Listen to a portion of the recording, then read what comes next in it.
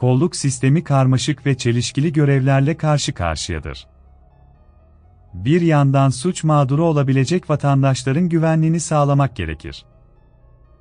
Te yandan, toplumun en şiddet yanlısı üyelerinin bile toplum hayatına uyum sağlaması için gerekli koşulların yaratılmasını gerekmektedir. Ne yazık ki bu iki görev arasındaki çizgi çok incedir ve adaletin yanlış işlemesinin nasıl korkunç trajedilere yol açtığına dair bugünün hikayesi bunun en iyi örneğidir. Mackay Labush 13 Şubat 1997'de Kanada'nın Alberta eyaletinde doğdu. Ailesinin iki kızı vardı ve Mackay en büyükleriydi. Kız çok sessizdi. Cody McConnell ile tanıştığı yerel bir liseye gitti. Aralarında yavaş yavaş aşka dönüşen bir ilişki gelişti. 2014 yazında lise son sınıf öğrencileri olarak çıkmaya başladılar. İlk randevularından sonra artık birbirleri olmadan yaşayamaz hale geldiler. İlişkileri gelişti ve gençler kısa süre sonra bir aile kurmaya karar verdi. Mile liseden mezun oldu ve engelli insanlara yardım eden bir toplum kuruluşunda işe girdi. Bakıcıları seçti ve ihtiyacı olanların ihtiyaçlarını karşıladı. Kız burada hayatının geri kalanında ne yapmak istediğini fark etti. Makay insanlara yardım etmeyi her zaman içtenlikle sevmiştir. İş yerinde, tıbbi bakımın temellerini öğrenme ihtiyacıyla karşı karşıya kaldı. Kız bu konuda ciddileşmeye ve hemşire olmaya karar verdi. Hayalini gerçekleştirmek için eğitim alması gerekiyordu. Maile Edmonton'daki Northwest Koleji'ne girdi. Tüm boş zamanlarını iyi bir uzman olma hayaliyle ders çalışarak geçirdi. Kanada'da tıp alanında çalışmak saygın ve iyi ücretli bir işti, bu da uzmanlık alanında bir işin küçük ailelerini desteklemesine olanak sağlayacağı anlamına geliyordu. Cody ile ilişkileri devam etti ve daha da güçlendi. Cody, kızın eğitim arayışını destekledi. O zamana kadar zaten birlikte yaşıyorlardı. 2019 yılında, üniversiteden mezun olduktan hemen sonra Maile bir bebek beklediğini öğrendi. Genç çift için bu büyük ve uzun zamandır beklenen bir olaydı. Aşıklar mutluydu. Her şey olabildiğince iyi gidiyordu, aileye katılma hayalleri yavaş yavaş gerçeğe dönüştü. Çok geçmeden genç çift evlendi. Buna ek olarak, gelecekteki bebeğin yaşamı için her şeyi hazırlamak zorundaydılar. 17 Nisan 2020'de Nuh adını verdikleri bir oğulları oldu. Koşullar öyleydi ki Nuh bir pandemi sırasında doğdu. Bu durum anne ve bebeğin hastaneye gitmesinde bile büyük zorluklara neden oldu.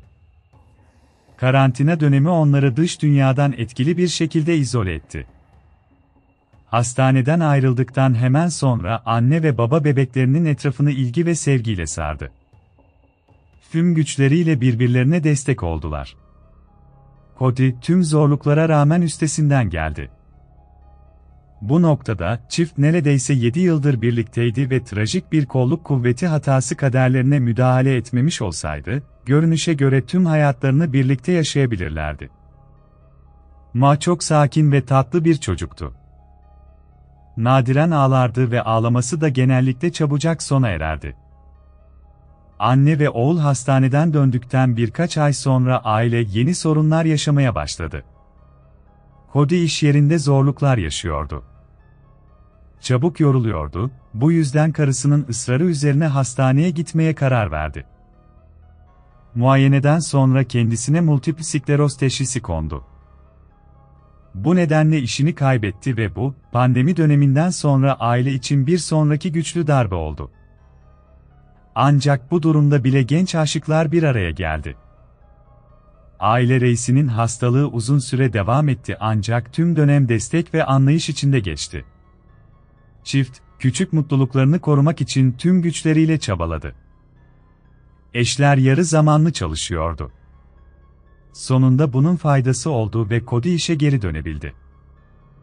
Ailenin reisi Cody, turbopropların döşenmesiyle uğraşıyordu. Adam sürekli yoldaydı. Farklı şehirlerde gerçekleştirilen kurulumlar için iş seyahatlerine çıkması gerekiyordu. Doğal olarak, faaliyet prensibindeki böylesine keskin bir değişiklik aileyi etkiledi. O zamanlar Mile ev hanımıydı, çocuğa bakıyordu ve sürekli bir işi yoktu.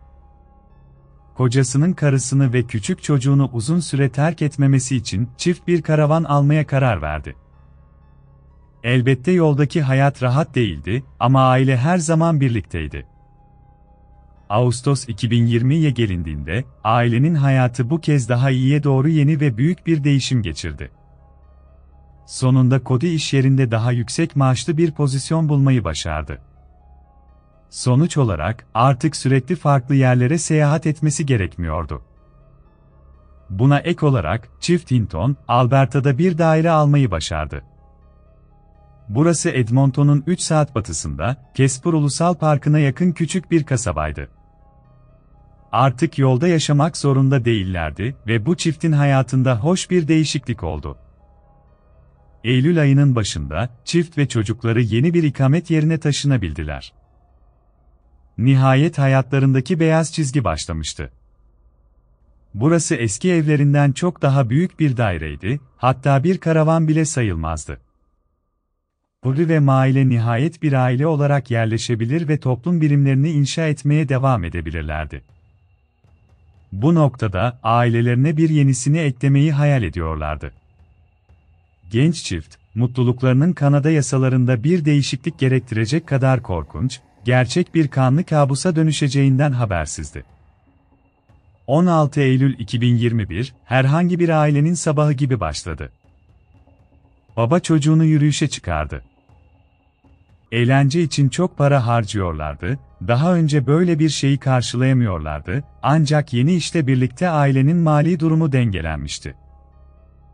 Artık baba 16 aylık oğluyla daha fazla vakit geçirebiliyordu.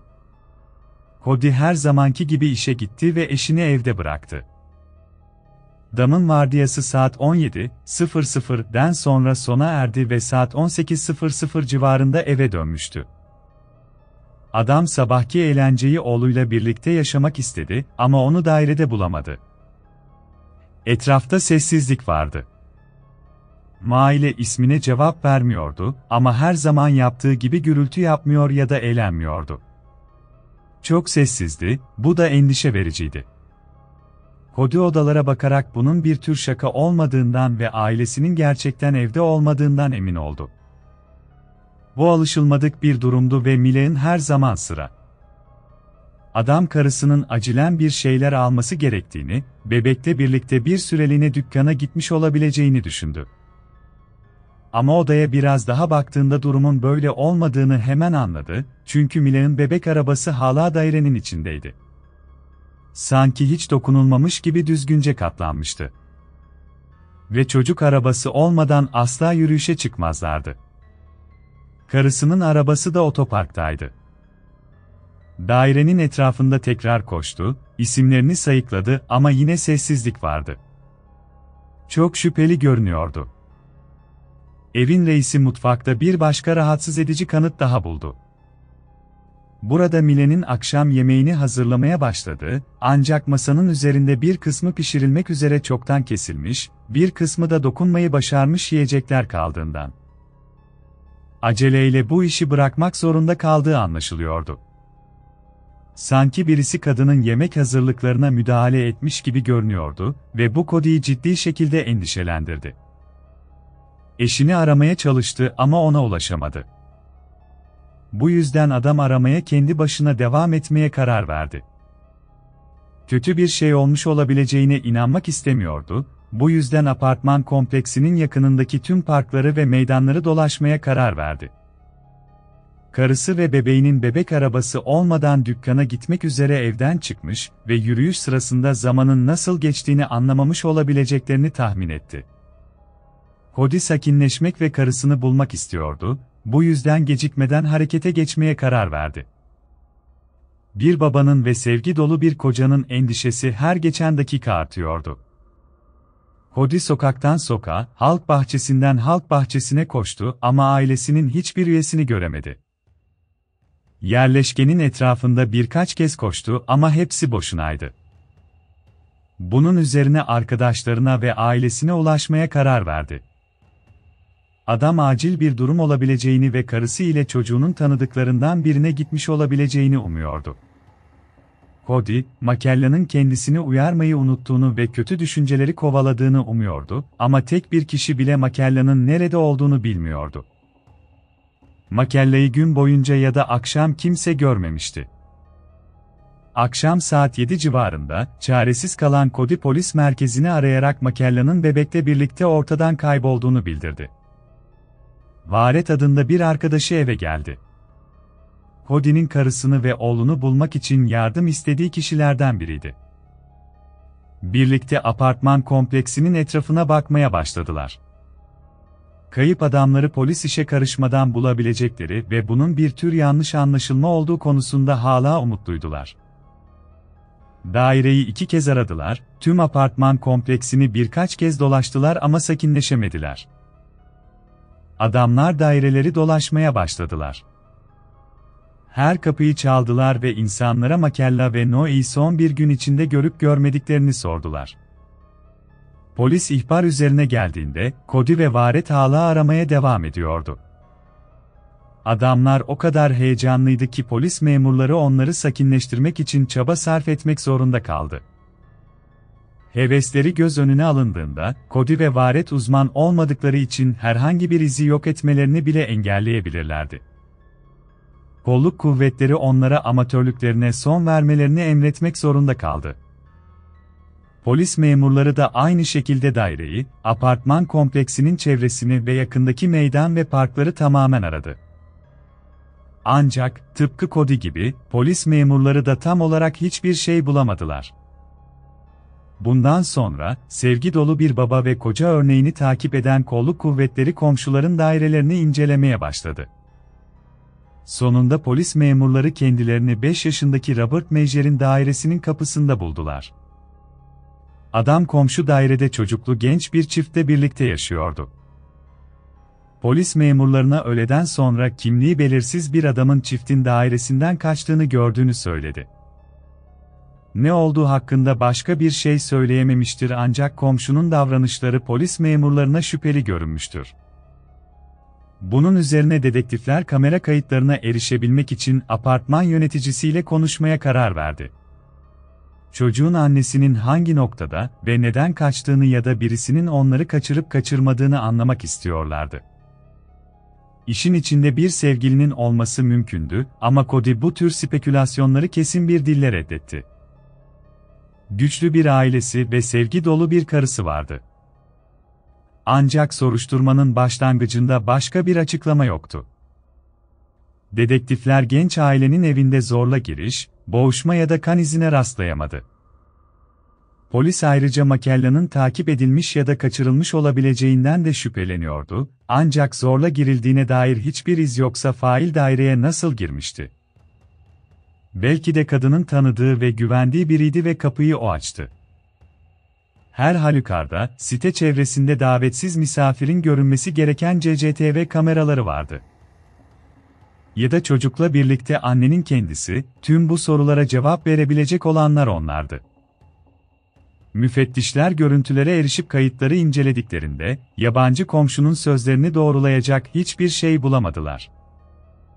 Memurlar gizemli yabancı yerine adamın kendisini, iki büyük poşeti dairesinden çıkarıp sitenin çöp kutularına atarken gördüler.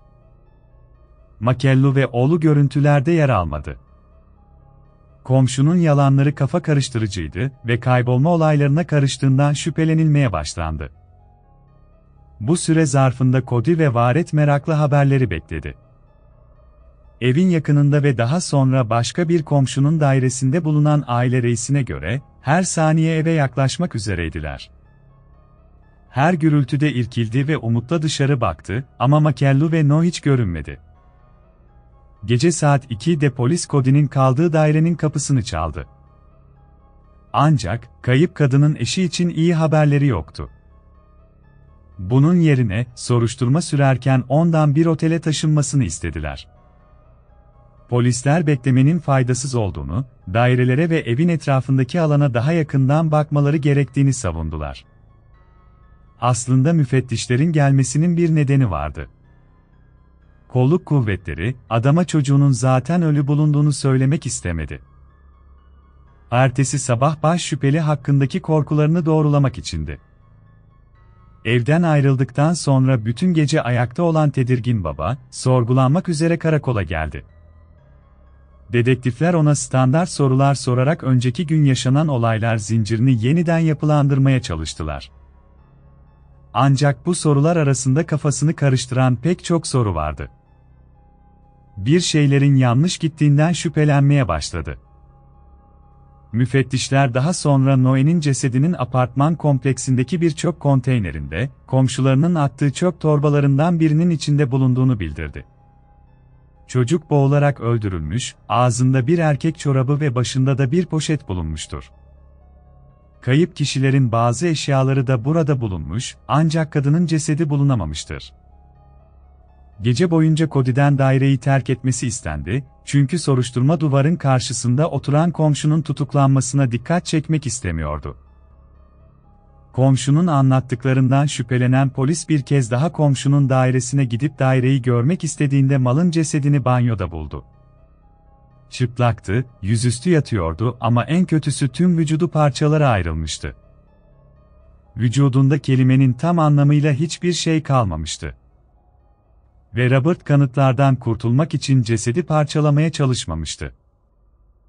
Zaten öldürülmüş olan kadına yapılan bu parçalamaların gizemini koruyan başka amaçları vardı. Uzmanlar daha sonra malın ölümünden sonra cinsel istismar yapıldığına dair kanıtlar buldu. Genç aile apartman kompleksine sadece birkaç hafta önce taşınmıştı. Komşularından bazılarını tanımak için ancak zamanları olmuştu. Robert'la yolları neredeyse hiç kesişmemişti. Cody sessiz, rahat, ilgi istemeyen bir komşuları olduğunu düşünüyordu. Herkesten uzak durur ve içine kapanırdı. Şimdi en tehlikeli tipin bunca zamandır orada yaşadığı belliydi ama komşuların hiçbiri bunu bilmiyordu bile. Robert Made, iki cinayetin yanı sıra malın istismarı şüphesiyle tutuklandı. Polis memurları, çiftin komşusunun kapsamlı bir suç geçmişine sahip olduğunu geçmiş kontrolü sırasında hemen keşfetti. Kayıtlarında ikisi 2000 yılında cinsel saldırı suçundan olmak üzere 24 mahkumiyeti vardı. Robert kıza saldırdığında ilk ciddi suçlamasıyla karşı karşıyaydı. Bu suçtan dolayı hapis yatıp yatmadığı kesin olarak bilinmemektedir. Ancak, herhangi bir cezanın onun lehine olmadığı açıktır. 6 yıl sonra, 2012'de Robert yine şiddet içeren bir cinsel suça karışmıştır. Dadı olduğunu iddia ederek bir çiftten bir şekilde çocuk almayı başardığı ortaya çıktı. Ebeveynler ona inanmış. Bir gün, parkta yürüyüşe çıkmak yerine bebeği almaya gittiğinde ona tecavüz etti. Benzer başka olaylara da karıştığına dair şüpheler vardı. Robert tutuklandı ve işlediği suçtan dolayı hüküm giydi. Ancak sadece 3 yıl hapis yattı. Cezaevinde kaldığı süre boyunca cinsel saldırı suçluları için özel bir yeniden eğitim programına tabi tutuldu. Ayrıca psikiyatrik yardım aldı ve program için düzenli olarak kiliseye gitti. Robert Made serbest bırakıldı. Psikiyatristlere göre adam yeniden toplumun üretken bir üyesi olmaya hazırdı. Tabii ki durum böyle değildi. Hapisten çıktıktan sadece birkaç yıl sonra suçlu masumların kanına girmek istedi. Polis, Robert hapisteyken yapılan muayenelerin sonuçlarını kontrol etti. Katilin rehabilite edilmediği, çocuklara ve genç kadınlara saldırmaktan zevk aldığı ve bunu heyecan için yaptığı tespit edildi bunu 2016 yılında rapor etmiştir. Ancak, rehabilite edildikten sonra bile yeniden suç işleyeceğine inanmak için hala sebepler vardı. Bu sadece bir zaman meselesiydi. Robert'ı gözaltına almaya devam etmek için yasal bir dayanak olmadığından, Edmonton polisinin yapabildiği tek şey Robert'ın tehlikeli olduğu ve tekrar birine zarar verme ihtimalinin yüksek olduğu yönünde bir açıklama yapmak oldu. Bu adam açıkça kadınlar ve çocuklar için bir tehditti ve çok küçük çocuklardan bahsediyoruz. toplumu potansiyel bir tecavüzcüden korumak için hapse atılmadı, ancak bir dizi kısıtlama getirildi. Özellikle de çocukların ve kadınların etrafında bulunması, okulların ya da parkların yakınında yaşaması yasaklandı. Robert sokağa çıkma yasağına tabiydi ve Edmonton'dan ancak hapisten çıktıktan sonra bu tür insanları denetleyen polis memurunun resmi izniyle ayrılabiliyordu. Birkaç yıl boyunca tüm bu düzenlemelere harfiyen uymuş ve gözetim altında tutulmuştur. Suçlu, adli sicil kayıtlarında yer almıyordu, ancak zaman gösterdi ki, avcı tüm bu süre boyunca zamanını bekliyordu. Kanada yasalarına göre, cinsel saldırıdan hüküm giymiş bir suçlu bir yıl boyunca benzer bir vakaya karışmamışsa, tehlikeli suçlular listesinden çıkarılıyor. Haziran 2020'de ona olan da buydu, tecavüzcü polis radarından tamamen çıkmıştı. Karıştığı birkaç suç olayına rağmen mahkeme kararıyla veri tabanlarından çıkarıldı. Bu sayede Robert, daha önce kısıtlamalar nedeniyle taşınmasına izin verilmeyen yeni bir apartman kompleksine taşınabildi. Artık kimseye rapor vermiyordu ve incelenmiyordu. Yaşanan korkunç trajedi karşısında kamuoyunda oluşan öfkeyi hayal etmek bile zor. Polis, failin üzerindeki kısıtlamaları kaldırarak bölgedeki tüm kadın ve çocukların hayatını tehlikeye atmıştır. Kederli Dul Cody, insanların bebeklere saldırabilecek tehlikeli bir tecavüzcünün yakınında yaşadıklarını bilmeye hakları olduğuna inanıyordu. Böylece potansiyel olarak tehlikeli olan suçludan uzaklaşmak gibi önlemler alabilirlerdi. Soruşturma, her iki kurbanın da polis Noah ve McCay'in kaybolduğuna dair bir ihbar almadan önce öldüğünü ortaya çıkardı. Fail ve kurbanların apartman kompleksinde komşu olmaktan başka bir bağlantıları olmadığı tespit edildi. Birbirlerini tanımıyor ya da sosyalleşmiyorlardı. Saldırının tek nedeni Robert'ın kana susamışlığını giderme arzusuydu. Sorgulama sırasında tutuklu tüm bunları kolayca itiraf etti. Daha önce de olduğu gibi, müfettişleri öldürme arzusuyla başa çıkamadığını ve cesedi istismar ettiğini söyledi. Aynı zamanda kendisini tedaviye ihtiyacı olan hasta bir insan olarak tanımladı ve bu süreçten zevk aldığı konusunda ısrar etti. Robert'ın kendisi de toplumdan izole edilmesi gerektiğine, aksi takdirde bunu tekrar yapacağına inanıyordu. Duruşma büyük yankı uyandırdı. Düzinelerce aile üyesi, arkadaş, iş arkadaşları, komşular ve sadece kayıtsız olmayan insanlar bir gecede tüm ailesini kaybeden dul adama destek olmak için geldiler. Adalet ve insan suretindeki bu tür canavarlardan korunmak istiyorlardı. İnsanlar, sistemin hatası olmasaydı, polis memurlarının işlerini yapmaya ve tehlikeli bir suçluyu denetlemeye devam edeceklerine inanıyordu. O zaman Noah ve Makay hayatta olacaklardı. Hodi tüm duruşmalara boynunda eşine hediye ettiği evlilik yüzüğüyle katıldı. Omzunda da küçük oğlunun kullandığı mavi battaniye vardı. Kederli adam haklarını savunmaya hazırdı. Gözyaşları içinde bile, sıradan vatandaşların yakınlarında yaşayan potansiyel tehlikeli suçluların farkında olmaları gerektiğini tekrarlayıp durdu. O zamana kadar sıradan Kanada vatandaşlarının özellikle tehlikeli suçluların veri tabanlarına erişimi olmadığını belirtmek gerekir. Adam diğer aileleri de korumak istiyordu, bu nedenle mevcut yasaları değiştirmek için bir girişim başlatıldı. Cody McConnell'in girişimi, küçük oğlunun onuruna Nuh'un yasası olarak adlandırıldı. Robert'ın duruşması sırasında şekillenmeye başladı. Ancak yasanın geçmesine daha çok vardı verilmesi gereken bir mahkeme mücadelesi vardı. Robert tüm suçlamaları kabul etti. Mahkemeye o meşhum günde yaşananları anlattı. Ona göre, Cody işe gitmek için ayrıldığında, karısı Makue ve oğlu Noah yürüyüş yapmak için yakındaki bir parka gitmişler. Kısa bir süre sonra eve döndüklerinde apartman yöneticisiyle karşılaşmışlar. Adam Maki'ye, Cody'nin bir gün önce işten döndüğünde koridoru fena halde kirlettiğini ve izleri temizlemesini istediğini söyledi. Anlaşıldığı üzere, Cody gerçekten de bir gün önce kırlı bir tulum giymiş ve ortalığı kirletmişti. Mate temizleyeceğini söyledi ve Kir için özür diledi ancak bunu daha sonra yapacaktı. Muhtemelen bu sırada Robert konuşmaya kulak misafiri oldu ve bunun saldırı için mükemmel bir fırsat olduğuna karar verdi. Kadın ve bebek daireye girdi.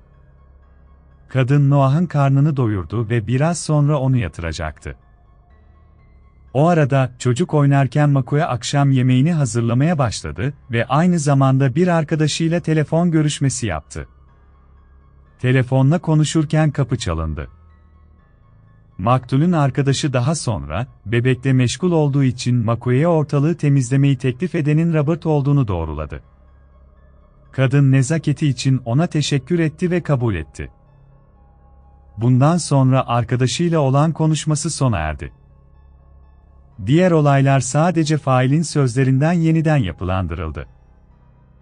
Robert, makul bir bahaneyle genç ailenin evine girdi. Muhtemelen kadını kapıyı tekrar açması için kandırdı. Yaptığı nezaket jesti de buna katkıda bulunmuştur. Görünüşe göre kadın ona kapıdan değil, şahsen teşekkür etmek istemişti.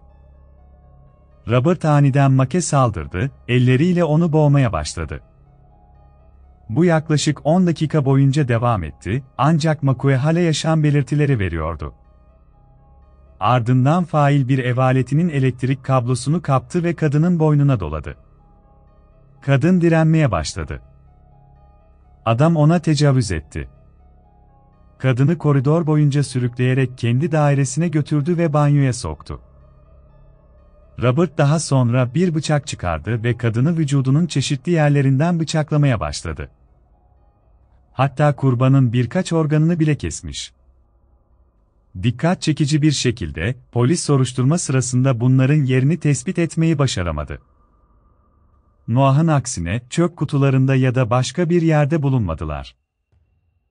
Robert kesilen vücut parçalarıyla ne yaptığını polise anlattı. Tüm bu süre boyunca çocuk hayatta ve onun dairesinde kaldı. Ancak suçlu, kendi itirafına göre, onu bir tehdit olarak görüyordu. Bu yüzden bebekten kurtulmaya karar verdi. Robert onu dairesine götürdü ve boğmaya başladı. Bunu yapmak için ağzını tıkamaya çalıştığı bir çorap kullandı. Sonra katil çocuğun kafasına bir etilen torbası geçirdi. Çocuğu öldürdükten sonra poşeti bir çöp torbasına koyup konteynere attı. Duruşmada fail oldukça molak davrandı. Kötü bir insan olmadığını ve yaşananların zihinsel sorunların bir sonucu olduğunu iddia etmeye devam etti. Aynı zamanda San'ın kendisi de toplumdan izole edilmesi gerektiği fikrini dile getirdi. Robert sonunda 25 yıl sonra şartlı tahliye hakkı ile ömür boyu hapis cezasına çarptırıldı. Tüm Mak ailesi Nuh'un kanunu üzerinde çalıştı. Dul adamın temel fikrine göre, özellikle tehlikeli suçluların yer aldığı bir veri tabanına açık erişime ihtiyaç vardı. Bu vakadan önce, sistem uzun süredir yürürlükteydi. Potansiyel olarak tehlikeli olan tüm suçlular takip ediliyordu ancak bu bilgilere sadece kolluk kuvvetleri ve istihbarat görevlileri erişebiliyordu.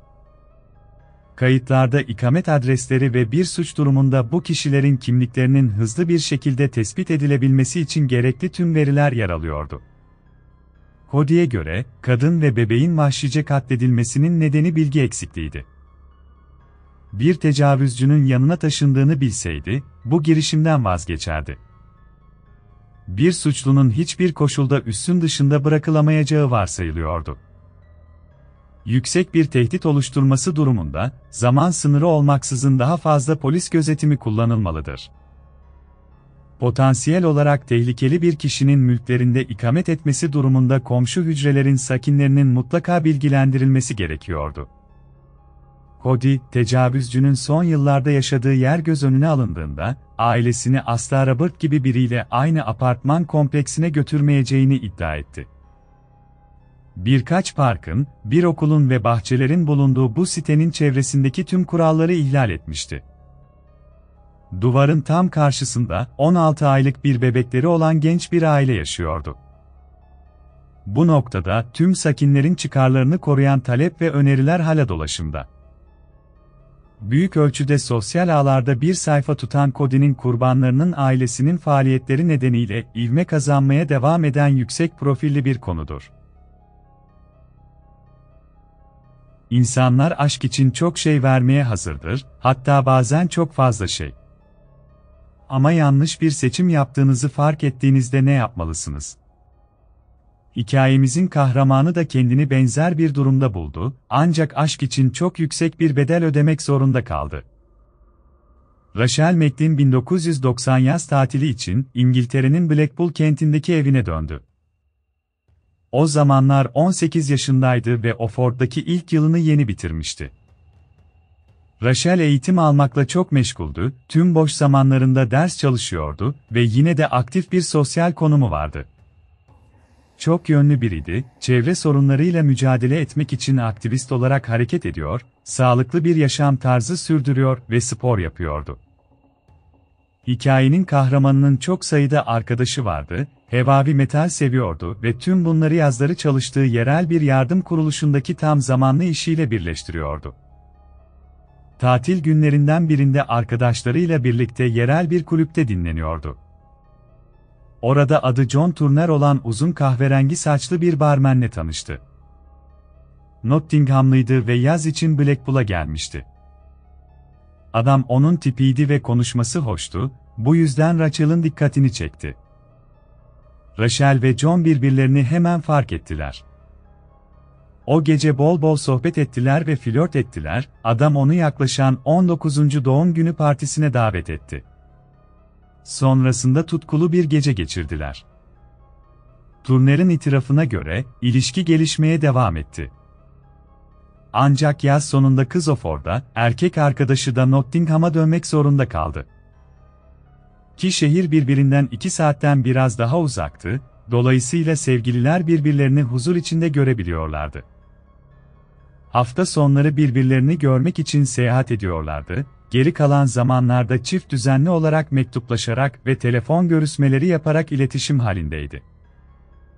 John kız arkadaşına uzun aşk mektupları yazıyor, kız da bundan büyük mutluluk duyuyordu. John Turner Hampstead'de doğdu, ancak küçük yaşta ailesiyle birlikte Yeni Zelanda'ya, Bat adlı bir kasabaya taşındı.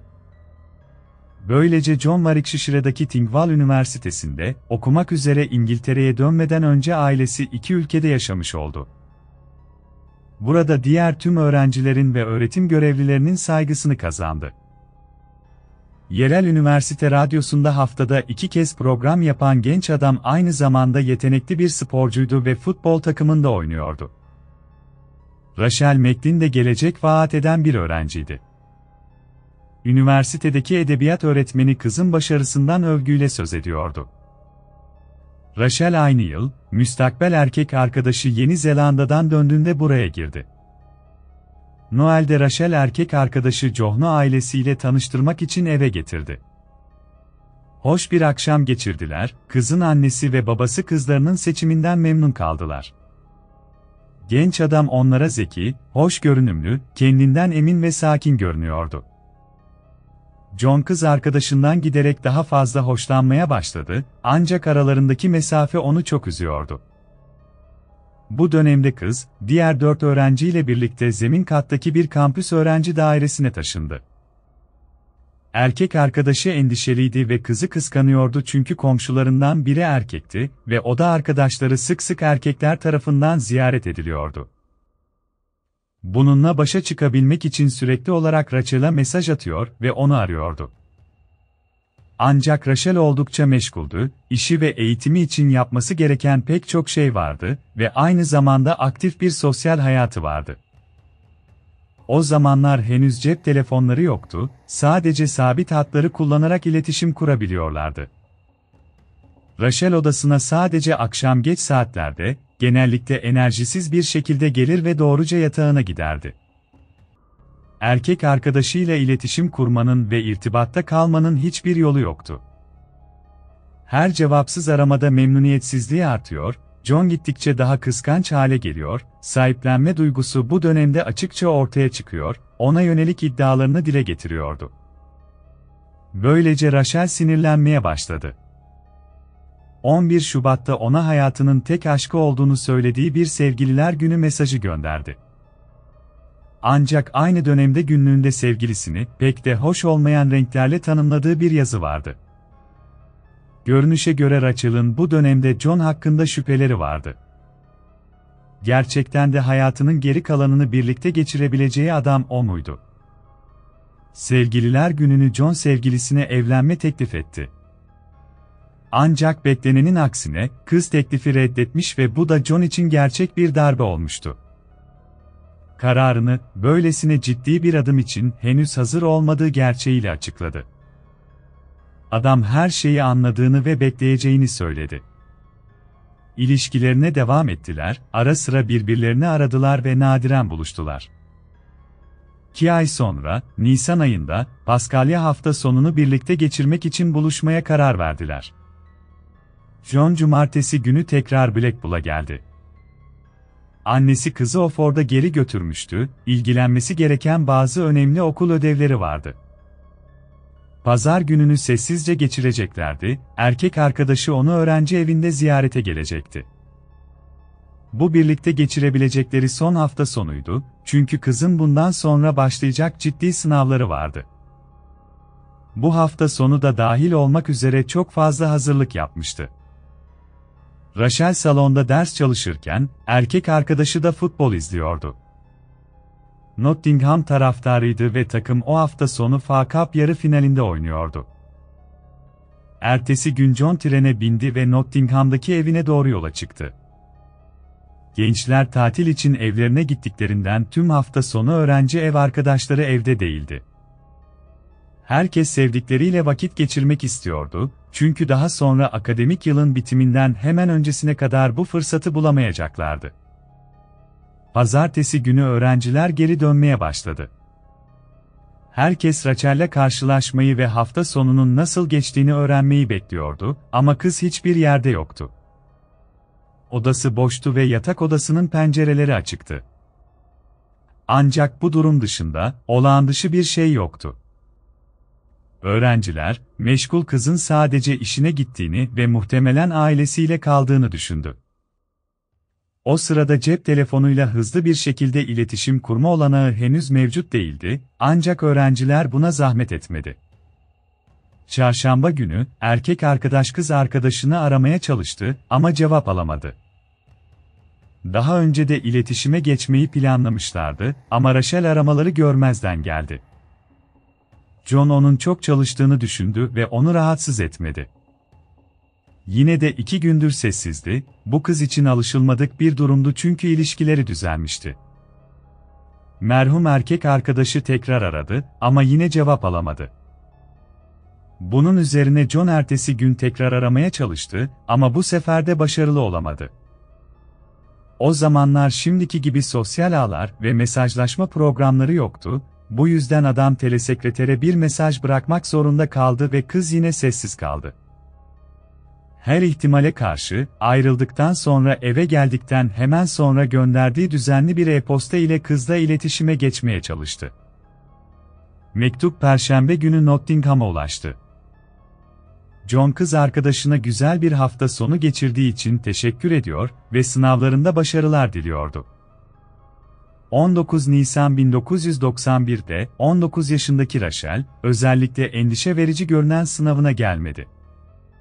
Sınava girmek için aktif olarak hazırlandığı için sınavı asla kaçırmazdı. Bu onun için çok önemliydi. Öğretmeni onunla iletişime geçmeye çalıştı, ancak bu mümkün olmadı. Ailesi de onun nerede olduğunu bilmiyordu. Bu nedenle öğrencinin kaybolduğunun polise bildirilmesine karar verildi. Oxford polis memurları başlangıçta bu haberi kuşkuyla karşıladı. Her ay düzinelerce kayıp öğrenci ihbarı alıyorlar çünkü her partiden sonra endişeli ebeveynler karakolla temasa geçiyor. Vakaların %99'unda gençler alkolün etkisinden kurtulur ve 24 saat içinde derslerine geri döner. Ama durum böyle değildi. Çalışkan öğrenci birkaç gündür kayıptı ve kendisinden hiç haber alınamamıştı. Arkadaşlarından hiçbiri nerede olduğunu bilmiyordu. bu yüzden polis ne olduğuyla ilgileniyordu. Hemen kayıp kadının yaşadığı daireye geldiler. Burada dedektif Susi Kruk ve birkaç öğrenci birkaç öğrenciyi sorguladı. Öncelikle kadının komşularıyla iletişime geçmeye karar verdiler, Victoria Clare, Margaret Smith, Sarah Hume ve John Forby. Komşular hemen kayıp kadının kıskançlığıyla herkese eziyet eden erkek arkadaşını işaret ettiler. Rachel'ın kaybolduğu sıralarda John Turner'ın Nottingham'dan gönderdiği bir mektubu gösterdiler. Kızın komşuları da John Turner'ın kayıp kızın temas kurduğu son kişi olduğunu doğruladı. Öğrencinin odası incelendi, zorla giriş, hırsızlık, boğuşma ya da kan izine rastlanmadı. Tüm eşyalar yerli yerinde bırakılmıştı, bu da kaçmadığı anlamına geliyor. Polis memurları Rachel'ın odasında önemli ipuçları içerebilecek bir günlük buldular. Müfettişler kayıtları incelemeye başladılar ve John Turner'ın sahiplenici ve manik bir deli olarak kız arkadaşını sürekli herkesten kıskandığını, günün ya da gecenin herhangi bir saatinde nerede ve kimin ne olduğunu bilmek için çabaladığını öğrendiler.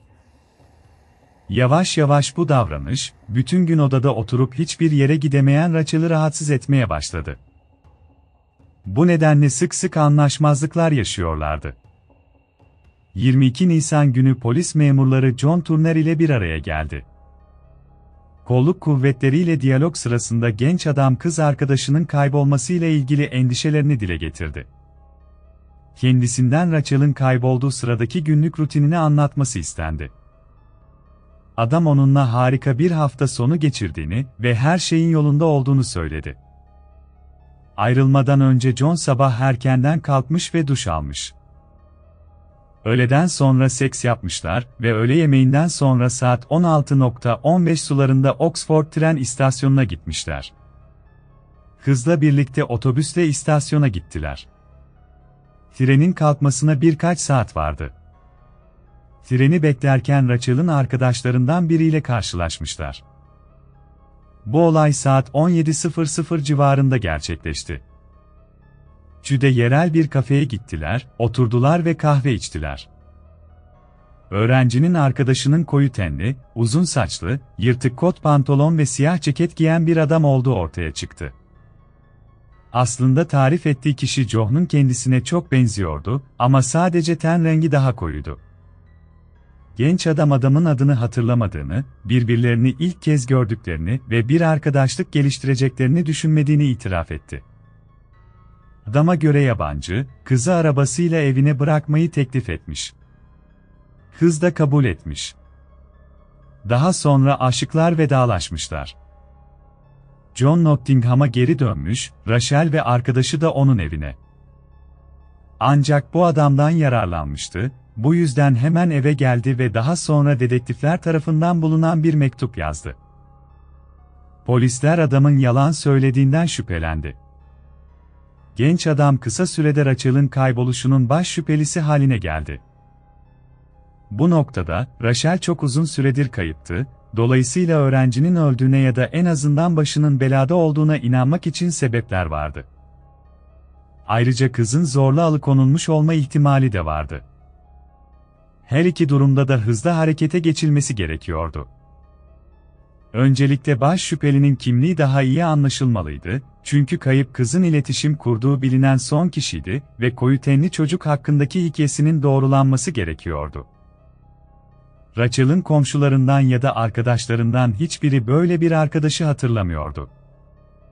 Aynı zamanda, daha fazla tanık çekmek için dedektifler olayı kamuoyuna duyurdular.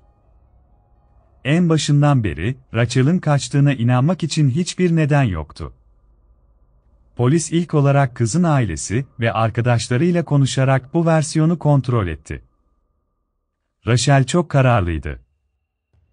Akrabalarıyla, arkadaşlarıyla, dersleriyle ve özel hayatıyla ilgili herhangi bir sorunu yoktu. Sınavlarına o kadar çok hazırlanıyor ve bekliyordu ki sınavlara girmeden duramazdı. Kız hiçbir zaman sorunlardan şikayet etmedi, bağımlılık veya zihinsel sorunlardan muzdarip değildi. Kural olarak, böyle insanlar kaçmazlar. Ayrıca, tüm eşyaları hala oradaydı. Tüm bunlar bu versiyonun dışlanmasını mümkün kıldı. Polis John'un sözlerinden kuşkulandı ve memurlardan birini ona görevlendirdi. Şüpheliye yaklaşması ve güvenini kazanması gerekiyordu. Memur aynı zamanda genç adama soruşturmanın gidişatı ile ilgili çeşitli haberler ileterek tepkisini izledi.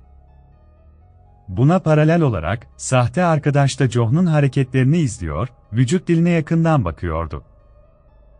Memur en başından beri genç adamın yalan söylediğinden şüpheleniyor ve davranışlarından da bunu doğruluyordu. John, konu Rachel'a geldiğinde gerginleşti ama kendini ele vermedi. Tüm şüphelere rağmen, bir haftalık çalışma sonucunda davayı ilerletecek işe yarar bir bilgi elde edilemedi. O arada dedektifler kapı kapı dolaşarak komşulardan görgü tanığı bulmaya çalışıyor, K9 memurları köpeklerle kızı arıyor ve dalgıçlar yakındaki su kaynaklarının diplerini metodik bir şekilde araştırıyordu. Birkaç kişi John'u hatırlıyordu ama kimse onun o gün kızla birlikte evden ayrıldığını iddia etmiyordu. Aynı zamanda şüpheli bir davranışta bulunmadığı için tanık ifadeleri de arama operasyonunu ilerletmek için çok az işe yaradı. Halkın katılımı sayesinde polis karakolu rastgele tanıklardan çok sayıda ifade aldı, ancak bunların hiçbiri Rachel'ın kayboluşunun gizemini çözmeye yaklaşmaya yardımcı olmadı. Bu süre zarfında John soruşturmayla işbirliği yapmaya devam etti ve kendisine göre kızı evine bırakması gereken bir adamın eşkalinin belirlenmesine yardımcı olmayı kabul etti. Adam Rachel'ı kaçıranın bu arkadaşı olduğuna inanıyordu. Bu noktaya gelindiğinde aradan iki hafta geçmişti ve polisin öğrencinin artık hayatta olmadığına dair hiçbir şüphesi kalmamıştı. Bu süre zarfında herhangi bir talepte bulunulmadığı için kaçırılma ihtimali de ortadan kalkmıştı. Arama ekipleri Oxford çevresinde geniş bir alanı taradı, kanalizasyonlar, kürek çukurları. Polis, kurtarma görevlileri ve gönüllüler cesedi aradı, ancak tüm çabalar boşa çıktı. Müfettişler kayıp kızın günlüğüne geri döndüler. Kız günlüğünde erkek arkadaşına karşı beslediği gerçek duyguları anlatıyordu, nefret ve acıma duygularının bir karışımı. Ona doğrudan söyleyemediği şeyleri sayfalara yazmış. Onu terk etmek istemiş ama kendisi için korkmuş olabilir. Ona karşı gerçekten hiçbir şey hissetmiyordu ve Sevgililer Günü mektubu daha çok zorunluluktan yazılmıştı. John'un dengesiz olduğunu ve öfkesini çok az kontrol edebildiğini biliyordu. Büyük olasılıkla Rachel bunu açıkça itiraf etmekten korkuyordu. Aynı zamanda günlüğüne erkek arkadaşıyla yakınlaşmanın onu mahvettiğini ve bunun sona ermesi gerektiğini yazmıştı. Buna rağmen erkek arkadaşı tamamen zıt bir görüşe sahipti. John ilişkilerini mutlu bir ilişki olarak tanımlıyordu. Röportajlarda çiftin sürekli seks yaptığını, birlikteyken günde 7 defaya kadar çıktıklarını vurgulamıştır. Ancak Rachel günlüğüne John'dan tiksindiğini ama bu yakınlaşmayı engelleyemediğini yazmıştı. Görünüşe göre, ilişkiyi bitirmek için bir bahane arıyordu.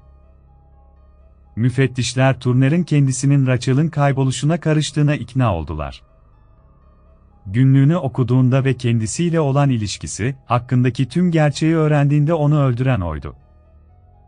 Ancak suçluluğunu kanıtlamak için daha fazla bilgiye ihtiyaç vardı. John aktif bir şekilde soruşturmayla işbirliği yapmaya başladı, hatta amacı Rachel'i arama çalışmalarına kamuoyunun dikkatini çekmek olan bir basın toplantısına katılmayı bile kabul etti. Ayrıca genç adamın kız arkadaşıyla geçirdiği son günün yeniden canlandırılmasına da katıldı. Baş şüpheliye göre, tren istasyonunda yaşanan ve bir yabancının da dahil olduğu olaylarla ilgiliydi. Bu kişinin Rachel'ın kaybolmasından sorumlu olan koyu tenli arkadaşı olduğuna inanıyordu. Basın toplantısı ve yeniden yapılanma sırasında John'un tepkilerinin ve davranışlarının yakından takip edilmesi ve deneyimli gazetecilerin, genç adamın sözlerindeki yalanları çözmede polise yardımcı olması bekleniyordu. Pek çok kişi koyu tenli delikanlının tarifinin Turner'ın dış görünüşüyle ve kıyafetlerinin rengiyle birebir örtüştüğünü fark etti, teninin rengi hariç her şeyiyle. Bu sadece bir tesadüf gibi görünmüyordu. Sanki hiçbir şey uyduramamış ve sadece ırkını değiştirerek kendini tarif etmiş gibi görünüyordu. Herkes adamın sizce yaşıyor mu sorusuna verdiği tuhaf cevabı da fark etti. Genç adam, içten içe öyle düşünmek istiyorum, diye cevap verdi. Ayrıca konferans katılımcıları, diyalog sırasında adamın yüzünden neredeyse hiç eksik olmayan gülümsemeye dikkat etti. Bu olay daha sonra Rachel'ın kayboluşunun gizemine ilişkin soruşturmaya büyük bir ivme kazandırdı. Basın toplantısını televizyondan izleyen birkaç seyirci, kızın tren istasyonunda kaybolduğu gün yaşananları açıkça hatırladı. Polisle temasa geçtiler ve istasyondaki kafede sadece John'un olduğunu, kızın ya da başka bir erkeğin olmadığını iddia ettiler. Tanıklar arasında komşu masada oturan bir adam da vardı. Oturup kahvesini içerken John'un çok gergin olduğu görülmüştür. Sürekli etrafına bakıyor ve kıpırdanıyordu. Tanığa göre, bir noktada genç adam bir kağıt parçası çıkardı ve yazmaya başladı. Bu noktada kız artık hayatta değildi ve erkek arkadaşı Nottingham'a geldikten hemen sonra gönderdiği mektubu yazmaya başladı. Tüm bunlar kendisine bir mazeret oluşturmak için yapılmıştı. Ne de olsa o anda kızın başına böyle mektuplar gönderecek bir şey geldiğini bilmiyor olamazdı. Öğrencinin hikayesi gözlerinin önünde parçalanmaya başladı. Rachel'le birlikte otobüste istasyona gittikleri bilgisi doğrulanmıştı. O sırada istasyonda kamera olmamasına rağmen, bu süre zarfında kente kabine giren ve ücretini ödeyen tüm yolcular takip ediliyordu. Bu amaçla özel elektronik cihazlar çalışıyordu. Bir tavşan almak imkansızdı. Bu bilgilerin doğrulanmasıyla, kızın seyahat için ödeme yapmadığı, yani John'la birlikte olmadığı ve o gün orada bulunamayacağı anlaşıldı. Yani yalan söylüyordu. Ama neden? Kızın cesedinin nereye gitmiş olabileceği belli değil. Suçlamalar ve suçun koşulları için bu gerekliydi. Bir noktada, dedektifler cesedin bir öğrenci evinde ya da kampüste bir yerde kaldığını tahmin ettiler. Akla yatkın görünmeyebilirdi ama yine de kontrol etmeye değerdi. Binanın çevresi kameralarla izleniyordu. Hiçbirinde John'a ait büyük ve şüpheli bir eşya görülmedi. Polis, öğrencilerin yaşadığı binanın planını istedi. Zeminin altında nişler olduğunu tespit edebildiler. Dedektifler tekrar kayıp kızın yaşadığı daireye geldi ve katları açtı. Burada kızın kalıntılarını bir çanta içinde bulmayı başardılar ve bu çanta 20 santimetre yüksekliğinde sıkıştırılmıştı. Bu dönemde hava oldukça soğuktu ve bu da cesedin çürüme sürecini yavaşlattı. Ayrıca, yapısal olarak, katlar arasındaki bu boşluk iyi havalandırılıyordu. Bu da çürümekte olan cesedin koku yaymamasını ve öğrencinin ölümünden sonraki 19 gün boyunca tespit edilememesini sağlamıştır. Koşullar Rachel'ın cesedinin aşırı derecede çürümesini engellediğinden, bu durum adli tabibin ölüm koşullarını maksimum kesinlikte tespit etmesini sağlamıştır. Rachel'ın cesedinin bulunmasından sonraki bir saat içinde John, Nottingham'da çalıştığı barda tutuklandı. İlk başta polisin soruları karşısında yorum yapmayı reddetti, ancak ertesi gün kızı öldürdüğünü itiraf etmeye karar verdi. Ona göre, o gün bir futbol maçı izledikten sonra, Rachel'ın rızasına güvenerek ona tekrar evlenme teklif etmiş, ancak bu kez kız reddetmiştir. Genç adama göre, birbirlerine tam olarak ne söylediklerini ve sonrasında ne olduğunu hatırlamıyordu, ancak çift açıkça ineleyici ifadeler kullandı. Sonuç olarak erkek arkadaş öfkesine yenik düşmüş ve kıza saldırmış. Adli tabibin raporuna göre, kızı boğmaya başlamış. Görünüşe göre genç adam Rachel yaşam belirtisi vermeyi bırakana kadar durmamış. İtiraf sırasında John, Rachel'ın nişandan vazgeçmesi için nasıl bir sebep göstermesi gerektiğini hala anlayamadığını söyledi. Rachel uzun süre cevap vermek istemedi ama sonunda bir ilişkisi olduğunu ve hayatını John'a adamaya hazır olup olmadığından emin olmadığını itiraf etti. Bunun üzerine adam ona hakaret etti. Rachel adama vurmak için hamle yaptı ve tokat attıktan sonra erkek arkadaşı kontrolünü kaybederek kıza saldırdı, ağırlığıyla onu yere düşürdü ve hareket etmesini engelledi. John olanlara dair hiçbir şey hatırlamadığını iddia etmiştir. Ona göre, uyandığında ve ne yaptığını anladığında, bir zamanlar sevdiği kızın cesedinin önünde kanepede oturuyordu. Rachel ölmüştü. Adli tıp uzmanlarına göre, Rachel'ın boynunda gerçekten de boğulma izleri bulundu, derin ama ince bir iz, bir el tutuşunun karakteristiği değil. Davetsiz misafirin bir silah kullandığına inanılıyordu. Olay yerinde ve John'un kişisel eşyaları arasında, kızın Noel'de ona hediye ettiği kravatı bulunamadı. İddiaya göre, Rachel'ı öldürmek için onu kullanmıştı. John ne olduğunu anladıktan sonra şoka girdiğini ve ancak bir süre sonra kendine geldiğini söyledi. Cesetten kurtulmaya başladı. Cesedi binanın dışına çıkarmaya cesaret edememiş. Cesedi bir çuvala koymuş, poşetlemiş, Rachel'ın odasının zeminini soymuş ve ardından cesedi zorla küçük bir yere atıkmış. Bundan sonra her şeyi gizlice bir araya getirdi, eşyalarını aldı ve otobüse binerek istasyona gitti. Burada kafede treni beklerken Rachel için bir mektup yazdı. Mektupta birlikte geçirdikleri hafta sonu için kıza teşekkür ediyor ve onu eve bırakması gereken koyu tenli bir adamdan bahsediyordu.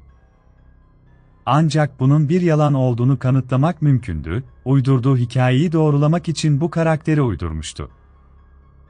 Ayrıca mektuba, kız arkadaşı birkaç gün yalnız kalacağı için onun için endişelendiğini de eklemişti.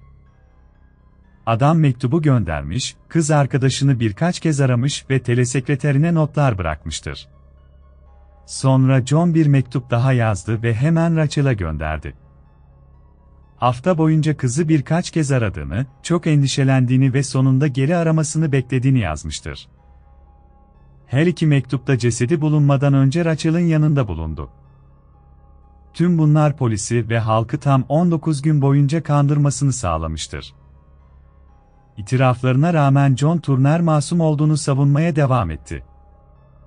Aralık 1991'de eylemlerinin meşru müdafaa sonucu olduğunu iddia etti. Tahammüden cinayetten ömür boyu hapis cezasına çarptırılmak istemiyordu, bu yüzden kızın ölümünün bir kaza olduğunda ısrar etti. Mahkemede, genç adamı mümkün olan her şekilde kurban gibi gösteren iyi avukatları vardı. Savunmaya göre, genç adam sadece kızla bir aile kurmak isteyen şefkatli bir aşıktı ve umutsuzca ona iki kez evlenme teklif etti, ancak kız onu her iki seferde de reddetti ve ayrıca onu aldattığını itiraf etti. Rachel, erkek arkadaşını mümkün olan her şekilde aşağılayan, kavgacı ve sadakatsiz bir kız olarak gösterildi. Ayrıca John Julie Rachel tarafından aşağılandığını da vurgulamıştır. Hastalığı nedeniyle erkeklik organında sorunlar yaşıyordu ve kız bu nedenle onu sürekli suçluyordu, özellikle kasık ve karın bölgesindeki ağrılar nedeniyle onunla seks yapamadığı alevlenme dönemlerinde çok zorlanıyordu. Elbette bunların hiçbiri doğru değildi. Kızın günlük kayıtlarına bakılırsa, John'la yakın temasta bulunmaktan genellikle rahatsızlık duyuyordu. İlk sorgulamalarda itiraf ettiği gibi, John bu konuda tam anlamıyla takıntılıydı. Açıkçası, vakalardan birinde yalan söyledi, kız tarafında bir ilişkinin varlığı doğrulanamadı. Rachel'ın arkadaşları ve ailesinden hiçbiri ikinci erkek arkadaşının varlığından haberdar değildi. Herkes Rachel'ın John'dan bir an önce ayrılmak için bir bahane olarak bu ilişkiyi uydurduğunu düşünüyordu. Belki de öyle söylememiştir. Sonuçta bu sadece onun sözüydü. Nihayetinde sanığa inanılmadı ve şartlı tahliye ile ömür boyu hapse mahkum edildi. Ancak, John'un hikayesi burada bitmedi. Hapiste olduğu süre boyunca 20 yaşında bir kızla ilişki kurmayı başardı. Kız dış görünüşüyle ilk kurbanına çok benziyordu. Kız onun hikayesini gazetede görmüş ve ilgilenmeye başlamış. Adaletin yanlış tecellisinin kurbanı olduğuna inandığı için hapishanedeyken onu ziyaret etti. Parmaklıklar ardında geçirdiği süreye rağmen romantik bir ilişkiye başlamışlar. avukatlar uzun süre genç adamın serbest bırakılması için mücadele etti ve masumiyetinde ısrar etti. Hapiste geçirdiği 11 yılın ardından 2003 yılında şartlı tahliye edildi. Yeni bir hayata başlamak istediğini söyleyerek hemen Yeni Zelanda'ya döndü. Hapishanede tanıştığı yeni kız arkadaşı da John'un yaşadığı şehir olan Ankanui'deki üniversiteye gitmek üzere onun peşinden taşındı. Ne yazık ki 11 yıllık hapis hayatı onun için boşa gitmedi. Döndükten kısa bir süre sonra, masum olduğuna inanan kız arkadaşına saldırdı ve onu boğmaya başladı. Suç işlediği sırada 49 yaşındaydı. Neyse ki saldırı ciddi değildi ve kız kaçmayı başardı. Kız ciddi şekilde yaralanmamıştır.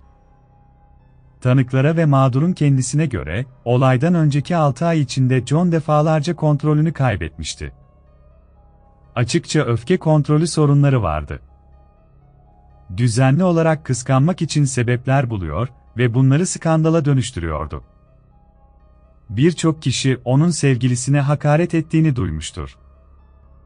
Ancak bir süre sonra durum tekrarlandı, adam kadına tekrar saldırdı. Bu sefer çift Wanganui bir moteldeydi. Tartışma kavgaya dönüştü. John kızı yatağa fırlattı, yumruğuyla yüzüne vurdu ve ağırlığını kızın üzerine verdi. Kendini toparlamayı başardı ve odadan çıktı.